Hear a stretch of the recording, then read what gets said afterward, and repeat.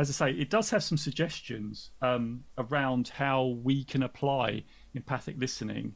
Um, and it is empathic listening. It's about really listening. One of the one of the cues, I'll read them out. I think there's some really good good things in here. So some of the applications we can do it to go right. One, select a relationship in which you sense the emotional bank account is in the red. So when we say in the red, we just mean that you haven't got a great relationship with them, right? Maybe you've you've not come across personally. This is try to understand and write down the situation from the other person's point of view. Now we did this. Remember that we did the with Ryan. Do you remember we did the the the, the NLP round three Robin? Put yourself in someone else's shoes Yes, and then put your fly on the wall. yes. So again, you know, Stephen is using some NLP here to try and see it from another point of view. So um, situation. So let's say write it down, write down situation from the other person's point of view. In your next interaction, listen for understanding, comparing what you are hearing with what you wrote down. How valid your presumption? How valid were your assumptions? Did you really understand that individual's perspective? I think that's really powerful. If you write down what you think, but then you compare it to what what it is, I think that's a really powerful concept. Number two, share the concept of empathy with someone close to you.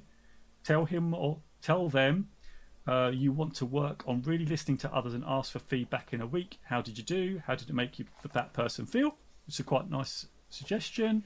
Number three, the next time you have an opportunity to watch people communicate, over, cover your ears for a few minutes and just watch what emotions are being communicated that may not have come across in words alone. I really like that. That you would just close your ears and then Looking for the body language. watch. Yeah. Yeah, I think you'd be quite quite powerful. And next time you, you catch yourself inappropriate using one of the an autobiographical response means basically trying to solve their problem, like probing, evaluating, advising, or interpreting. Try to turn the situation into deposit by acknowledging acknowledgement and apology, i.e., like what you said, Lee, about just being there um, for them, right?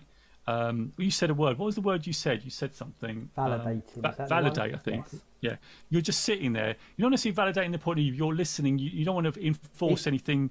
You just want to listen to them, I think it becomes it's almost self validation by just getting to tell someone about it. And then it says, base your next presentation on empathy. Describe the other point of view as well as well as or better than its proponents. Then seek to have your point understood from their frame of reference. So there are some actual action points from that particular chapter. Um, so definitely, I mean, it's always a work in progress, and we do make mistakes. And so I think there's some really powerful tools you can use.